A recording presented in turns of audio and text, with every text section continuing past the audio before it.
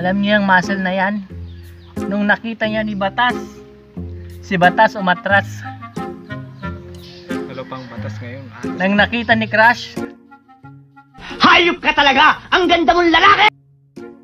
si Crush umatras.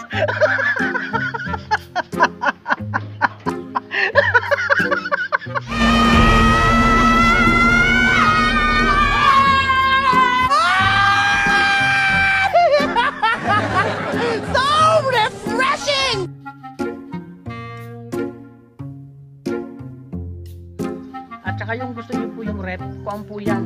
Itong rep po namin, yung pressure po namin, wireless po yan. Bluetooth po yan. Ang galing mo dyan ah. Hindi ko alam ah.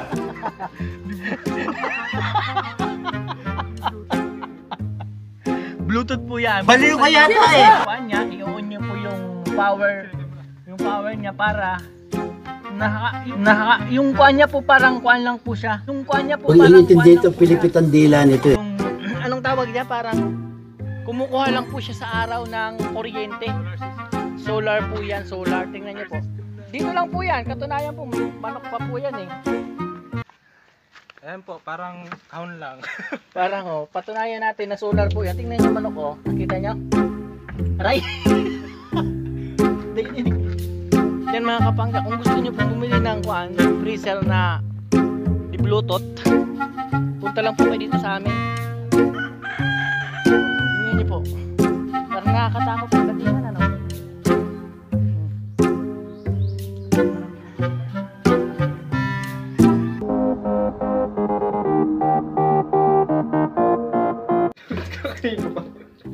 Kwento ako sa'yo. Kwento mo Ganito? sa pagong! Eh, syempre, si Juan, taga-bundok. Taga-bundok si Juan. Gusto niya na maghanap ng trabaho kasi Trabaho naman siya para sa mamamayan, no? gusto niya na ma-exper- ma-ex. May experience siya dun sa Maynila. Parang gusto niya pumunta sa Maynila. Di, sabi ng, sabi, ng, sabi niya sa papa niya, Ha? Lagi na lang po ako sa bundok. Sa kamote tayo nabuhay! Sa kamote tayo lumaki! Sa kamote rin tayo mamamatay! sana kahit pa paano ma-experience ko dun sa Maynila. Eh, sabi ng ta- pa- papa niya, eh sige, tutulungan kita makapunta ka sa Maynila. Tatanungin ko si kumpare kung paano makapunta sa Maynila. Kasi yung anak niya nandun din. Sabi niya, sige, sige, sige. Di pinuntahan na. Pinu- pinuntahan niya na, pinuntahan na niya si kuan niya, si kumpare niya. Di umuwi na, umuwi na, sabi niya, Anak, sabi ni kumpare, pagdating mo raw sa Maynila, kung asaan yung maraming tao, pumunta ka doon. At sigurado, nandun yung trabaho. Di totoo yan.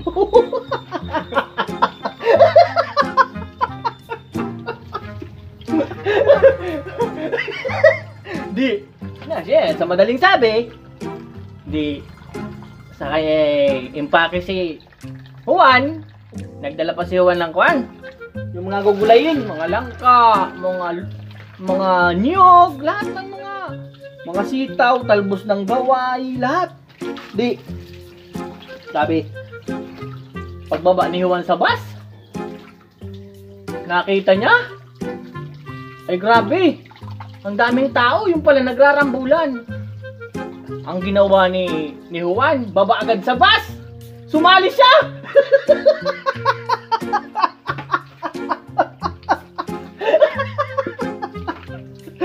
Sumali talaga, ay grabe. Nung nahihirapan na si Juan, sumigaw si Juan. Asan ang kapitan dito? Asan? Asan ang kapitan? Kasi, di ko kaya ang trabaho. Maghahapdi lang ako. daming bukol. Hindi niya daw kaya ang trabaho. Kasi sumali sa suntukan niya eh. Hindi niya daw kaya ang trabaho, kaya maghahap din na lang siya. Ah. Ganumane kare na opsya. O kezerak suku ka neko mo ani ka. Alam mo ba yung kwentong pamilya bingi? Hindi mo pa alam?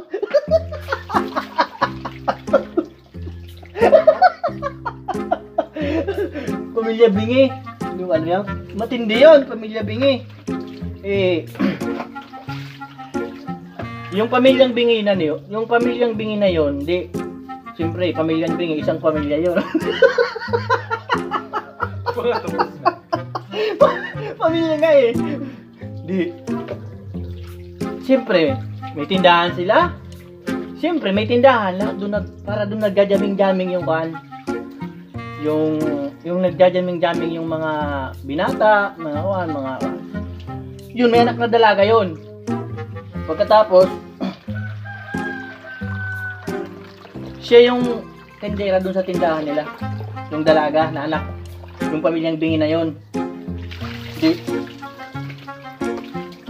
Siyempre, bumili. Bumili yung binata ng soft drink. Sabi, pabili po ng soft drink. Sabi ng babae, iwan ko lang po kala mama at papa. Malayo ang sagot, di ba kasi pamilya bingi nga eh.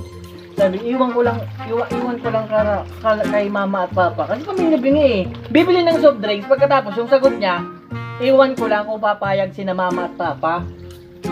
Di, sumigaw yung anak, yung babae. Sabi, Ma, pa!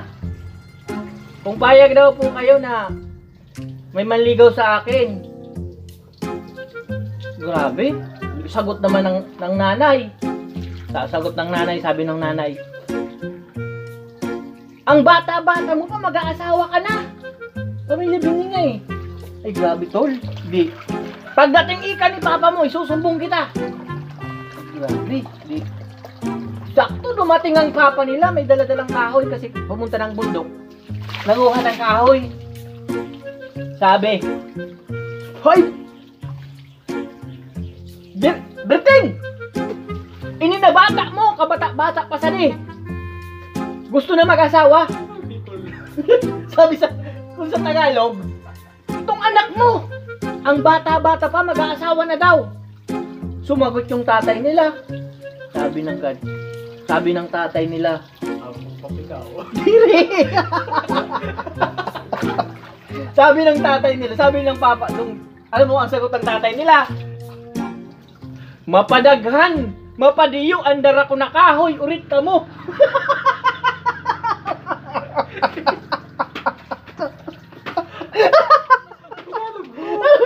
Sa, alam mo kung ano ang sagot ng tatay nila? Kasi sumigaw yung, na, yung nanay eh.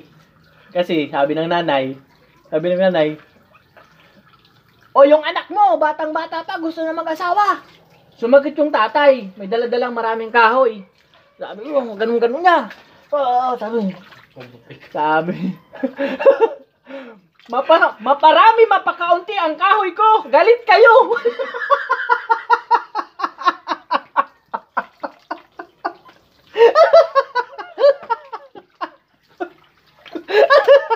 Pamilyang bungol.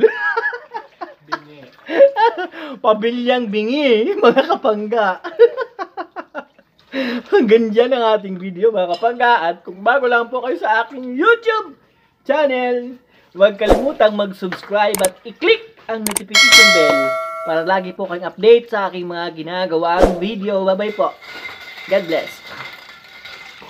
Ayaw kong may mamatay na isang Pilipino na gutom.